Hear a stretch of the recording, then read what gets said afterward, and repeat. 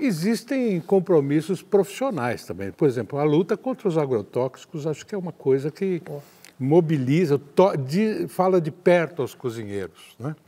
No entanto, o grau de organização dos cozinheiros em torno desta luta é bem baixo. Né? É, o que, que você me diz disso? Ô Dória, é que eu falo, né? Eu sou uma pessoa que também não fico esperando. É igual falar assim: ah, a gente depende do governo, depende do prefeito, não sei o quê, para a gente mudar o nosso entorno. Eu acho que se a gente fizesse cada um um pouquinho, já. Cada um tem que fazer seu papel, sabe? Sim, é dentro do restaurante, por exemplo. Você só consome verduras agroecológicas? Eu, até porque hoje, se eu for consumir só agroecológica, não fecha minhas contas. Eu quebro meu restaurante. Entendeu? Só que assim, hoje, devagarzinho, eu já estou trocando.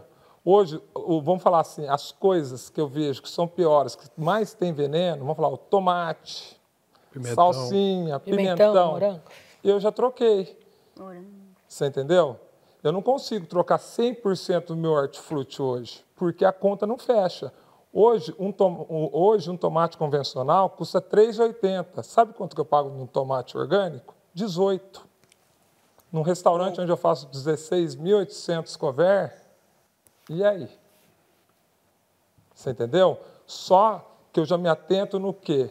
Se eu também for esperar o dia que eu troco tudo, eu não vou trocar nada. Mas eu já tenho a consciência dos 10 piores, eu já troquei.